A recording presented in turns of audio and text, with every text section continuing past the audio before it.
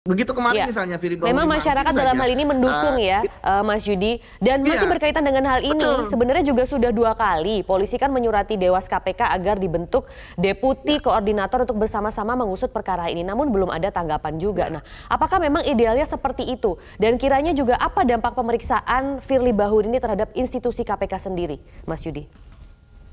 Ya kalau menurut saya kan Polri itu kan mengirimkan surat kan memang KPK itu kan sebagai lembaga supervisi juga ya melakukan supervisi tugasnya kepada terkait dengan kasus korupsi yang dilakukan oleh kepolisian. Dan saya pikir kepolisian itu udah bagus kok proaktif bahwa mereka eh, silakan lah eh, supervisi kami gitu kan. Eh, apa namanya terkait dengan kasus yang kami tangani bahwa ini benar tidak ada kriminalisasi ini buktinya kuat dan sebagainya. Nah sekarang kita lihat bagaimana apakah KPK akan menanggapi? Itu yang saya katakan bahwa jangan sampai ya KPK digunakan gitu kan untuk kemudian menjadi cara untuk membela seperti itu. Nah, jadi justru dengan polisi mau proaktif seperti ini ya KPK silakan saja utus ya orang-orang yang eh, di apa namanya yang yang dikatakan senior misalnya atau berpengalaman untuk melakukan supervisi itu eh, ini menurut saya tidak ada conflict of interest karena memang itu tugasnya. Baik. Kemudian bagaimana dampak dari KPK? Tentu kepercayaan publik akan semakin menurun kalau kasus ini tidak tuntas. Justru saya berharap bahwa KPK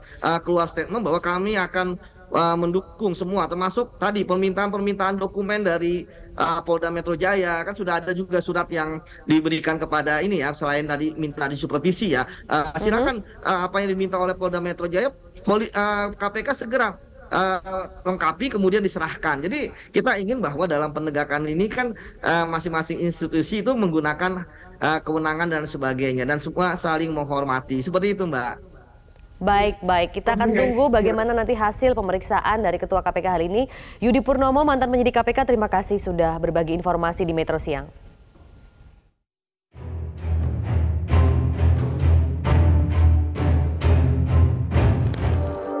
Polda Metro Jaya secara maraton telah memeriksa 52 saksi terkait kasus dugaan pemerasan Ketua KPK Firly Bahuri terhadap mantan Menteri Pertanian Syahrul Yassin Limpo. Pada Jumat 20 Oktober lalu, penyidik menjadwalkan pemeriksaan Firly Bahuri, namun yang bersangkutan mangkir.